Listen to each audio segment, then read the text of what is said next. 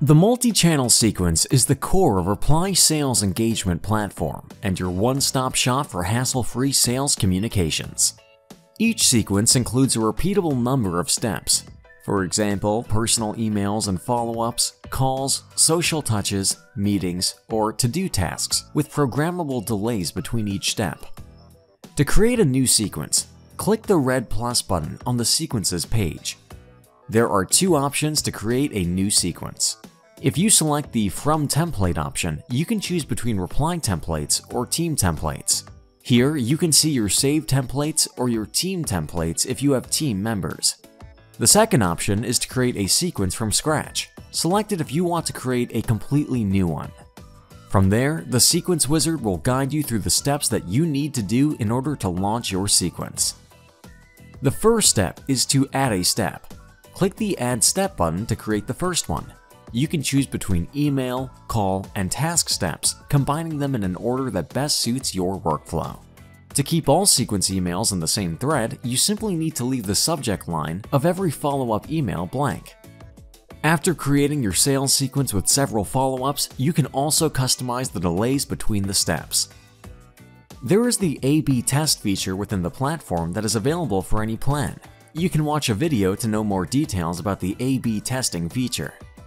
Also, while creating sequence steps, you can reorder steps using the drag and drop functionality. You can add a call step to connect with your prospects on the phone right from your reply account and Chrome extension.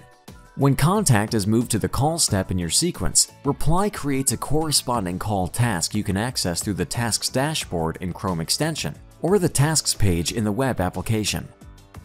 Similar to the call step, the task step aims to inform you that contact requires a certain action. For example, book a meeting after a successful call or connect on LinkedIn. After you have created all the necessary steps in the sequence, click Next to select a campaign schedule. By default, you will see a list of schedules available to you. Select one and modify it based on your requirements. You can also create another schedule that may be useful if you want to run multiple sequences targeted to different time zones. Watch the How to Set a Schedule video to learn more. Once the schedule is selected, you can add contacts to your sequence. Here, you can upload contacts from a .csv file, add existing contacts, or create them manually. To import contacts from a CSV file, choose this option and select the file you would like to upload. On the mapping page, confirm and check the CSV fields match the fields you'll be using in reply. In general settings, you can specify the sending email address, set daily sending limits, as well as the delay between each email sent. If you would like to review these settings in more detail, you can watch the Sequence Settings Overview video. The launch step provides you with an overview of the sequence, from here, you can save or save and launch the sequence, or jump to any step of the sequence wizard.